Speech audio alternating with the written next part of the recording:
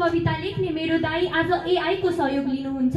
हिजोसम्म जापानमाको होटेलमा काम गर्ने मेरो काका आज एआईले गर्दा बेरोजगार हुनुभएको छ। धन्यवाद कार्यक्रम सञ्चालकज्यू।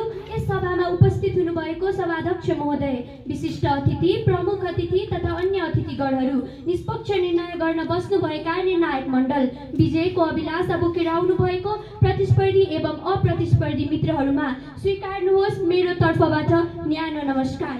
आज यस प्याप्सकद्वारा प्रतियोगितामा म आफ्नो तर्कहरू राख्न पाउँदा निकै खुसी महसुस गरेकी छु र एन प्याप्सललाई धन्यवाद व्यक्त गर्न चाहन्छु। अब ढिला नगरिकन म मेरो विषयतर्फ छिर्न चाहन्छु। एआईले मानिसको जीवनमा दुई धारे तरवारको रूपमा प्रस्तुत भएको छ। एउटा सकारात्मक अनि अर्को नकारात्मक। मेरो विचारमा एआईले मानव सृजनामा हेर्ने हो भने सकारात्मक भन्दा पनि बढी नकारात्मक प्रभावहरू पार्दै आएको छ।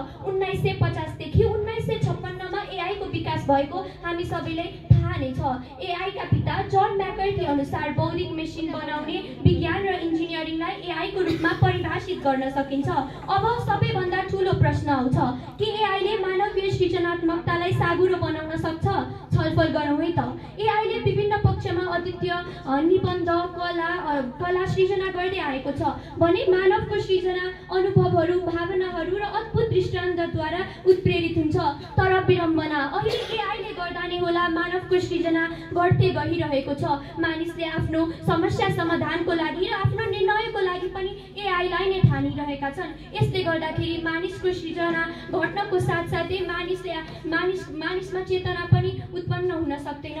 जसले गर्दा मानिसको विकासमा निकै ठुलो निकै ठुलो निकै ठुलो नकारात्मक पक्ष परेको हामी सबैलाई थाहा नै छ यो इन्टरनेसनल इन्टरनेसनल युएसएको युएसएद्वारा भनिएको युएसएद्वारा भनिएको छ कि विद्यार्थीहरूले विद्यालयले दिएको गृह कार्य र अन्यहरू क्रियाकलाप गर्नको लागि चौवालिस प्रतिशत विद्यार्थीहरू एआईकै सहयोग लिएको हामी सबैलाई हामी सबैलाई थाहा नै भएको थाहा नै भएको छ।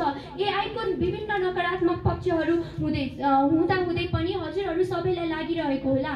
एआईको के के सकारात्मक पक्षहरू हुन्छ। तर मेरो विचारमा मानव मानवीय सृजनामा एआईले त्यति धेरै सकारात्मक पक्ष पक्ष पक्षको भूमिका खेल्दै आएको छैन। यदि हेर्ने हो भने नेटफ्लिक्स युट्युब इन्स्टाग्राममा हजुरहरू सबैलाई मनपर्ने भिडियो मात्र कसरी आउँछ भन्ने लागिरहेको होला। त्यो एआईकै सृजनाले गर्दा हो।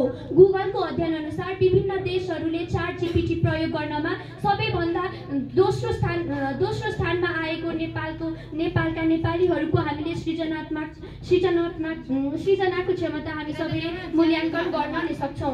सभाध्यक्ष महोदय अहिले फोटो खिच्न फोटोग्राफर चाहिँदैन कृषिमा कृषक चाहिँदैन र यस्तै यस्तै विभिन्न क्षेत्रहरूमा मानिसको सङ्ख्या घट्दै जानाले गर्दा एआईको विकास र दुर्गतिको हामी दुर्गतिको दुर्गतिको भविष्य हामी सबैले कल्पना नै गर्न सक्छौँ। आज म एक वक्ता मात्रै नभएर एक हर्ता र कर्ता बनेर यहाँ उपस्थित सम्पूर्ण महानुभावहरूलाई हामीले एआईको विभिन्न नकारात्मक पक्षहरूको बारेमा बुझ्नुपर्छ र अब हामीले एआईलाई एआईको सृजना त्यागेर मानव सृजनातर्फ लाग्नुपर्छ।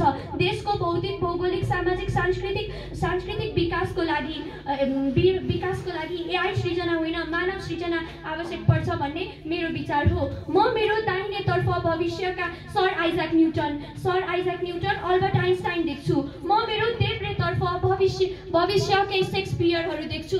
तर विडम्बना यस्ता यस्ता यस्ता यस्ता भविष्यका कर्णधारहरूले एआईको उपयोग गर्दै आएपछि के हाम्रो भविष्य भविष्य स्वर्णिम होला त अवश्य पनि नहोला। त्यसैले गर्दा अब आजैदेखि हामीले एआईको त्याग गर्नुपर्छ र सृजनामा ध्यान दिनुपर्छ भन्दै म सुस्मिता कटवाल हजुरहरू माझबाट बिदाई हुन चाहन्छु। हस्त धन्यवाद।